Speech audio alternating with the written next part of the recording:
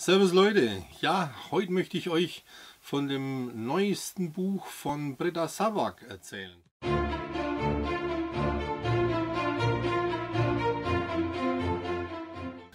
Und zwar ist das Blackwood, Briefe an mich.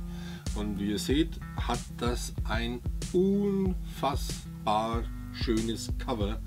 Äh, glänzende Libelle drauf das sieht so schön aus und innen drinnen hat sie so äh, ja, eine kleine Landkarte von diesem Örtchen Blackwood. Denn Blackwood ist ein, äh, ja, eine kleine Ortschaft äh, in, in Irland. Und äh, ja, da äh, lese ich euch ganz kurz mal äh, hier den Klappentext vor. Würde man einen Brief von einem zukünftigen Ich lesen wollen? Für Gesine ist das keine Frage. Natürlich würde sie. Denn nach dem Tod ihrer Mutter muss sie alleine zu einer Verwandten nach Irland ziehen. In dem kleinen verschlafenen Dörfchen Blackwood hat sie niemanden, mit dem sie so richtig über ihren Kummer äh, sprechen kann. Auch nicht über äh, Arian Mary, den unverschämt gut aussehenden Sohn der örtlichen Buddha-Dynastie. Noch dazu machen sie die Dorfbewohner mit Geschichten über allerlei übernatürliches Zeug verrückt. Alles Quatsch, denkt sich Gesine, bis sie in einem geheimnisvollen alten Schreibtisch einen Brief von ihrem zukünftigen Ich findet, der ihre Welt ganz schön durcheinander bringt. Ja, die liebe Gesine äh, ja, ist die Tochter einer Irin, äh, die aber in Wien aufgewachsen ist. Äh, und ja, leider verunglückt ihre Mutter tödlich bei einem Unfall und von ihrem Vater ja, weiß sie überhaupt nichts. Und so äh, muss die weise Gesine, toller Name, äh, wird aber auch erklärt, wie sie zu dem Namen gekommen ist. Denn das ist, Gesine ist der Name der Mutter ihres Vaters. Aber es ist eine lustige Geschichte, die äh, auf einer wahren Begebenheit sogar beruht, wie man die liebe Britta Sabak in, auf der Leipziger Buchmesse äh, erzählt hat. Das ist nämlich einer ihrer Freundinnen so geschehen, äh, also so passiert und auch der Name. Äh, daher kommt die Geschichte in dem Buch. Ähm, ja, wie auch immer.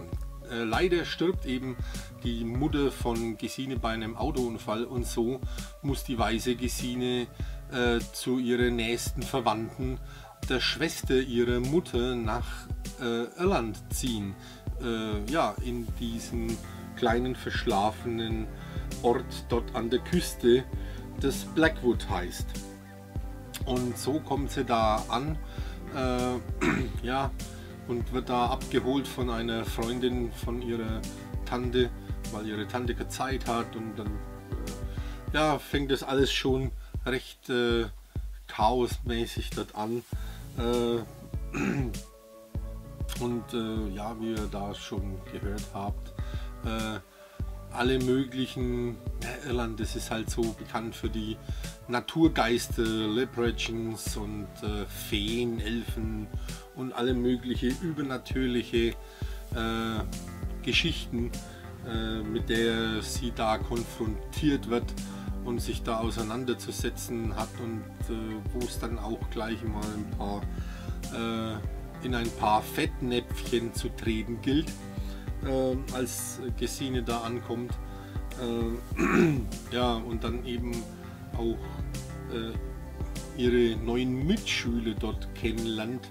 Äh, unter anderem einmal diese äh, Arian, ich glaube so wird es ausgesprochen, Arian Mary. Arian Mary. Ja, Arian. Der Sohn der, ja, so, so Carrie Gold, ne, irische Buddha, wisst ihr. Äh, und äh, Mary Gold heißt da diese Buddha-Marke. Äh, und der Vater von, von Arian ist eben da der, der Besitzer und Gründer dieser äh, ja, größten irischen Buddha-Dynastie. Die sind stinkreich und leben hier auf so einem riesigen, riesigen Cottage. Äh, so und ja, und es ist ein ziemlich gut aussehender junger Mann äh, mit einer äh, ziemlich gut aussehenden und auch stinkreichen Freundin. Äh, ähm, tja, und ja, wie es da so weitergeht und äh, was es mit diesen Briefen auf sich hat. Äh, das müsst ihr natürlich in, in, im Buch lesen, aber ich kann euch mal verraten, äh, das ist ziemlich crazy.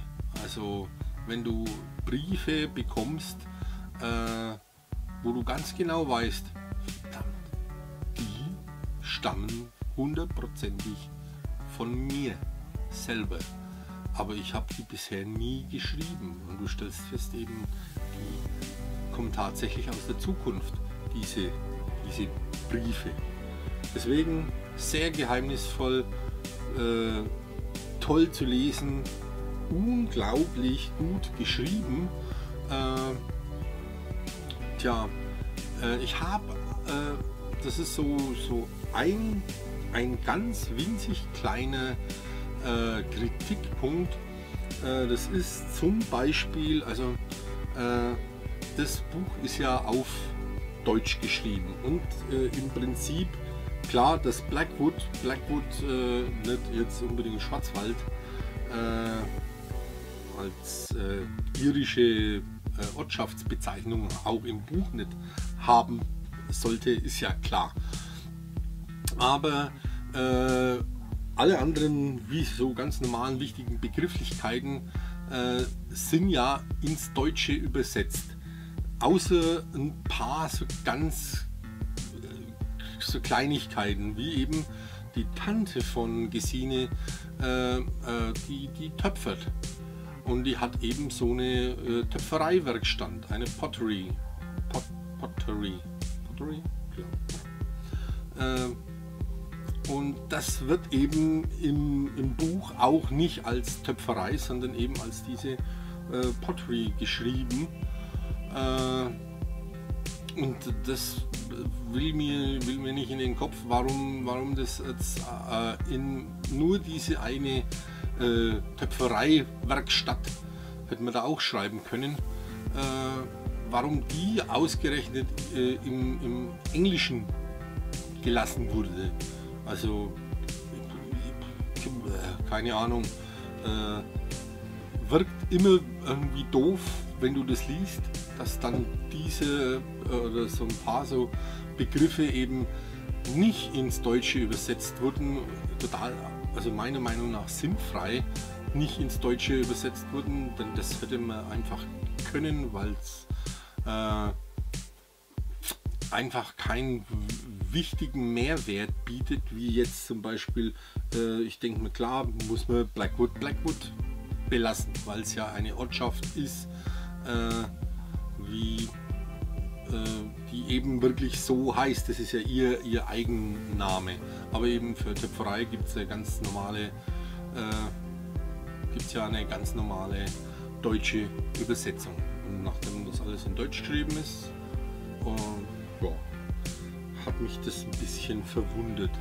Ansonsten sehr genial, äh, sehr gute 14 Punkte.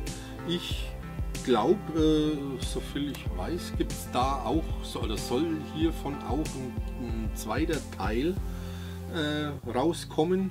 So im Grunde ist, äh, ist es äh, aber ein absolut abgeschlossenes Buch. Ähm, deswegen bin ich ganz gespannt drauf, falls es hier äh, eine Fortsetzung gibt. Ähm, Würde mich auf jeden Fall freuen weil ich glaube, da gibt es noch ganz viel, äh, viel zu ergründen ähm, und auch noch, noch zu erfahren, äh, äh, was hier vielleicht nicht ganz so äh, hundertprozentig aufgedeckt wurde an Geheimnissen. Ähm, ja, dementsprechend, äh, ich bin gespannt. Seid gespannt, was es mit dem Cover auf sich hat. Die Libelle.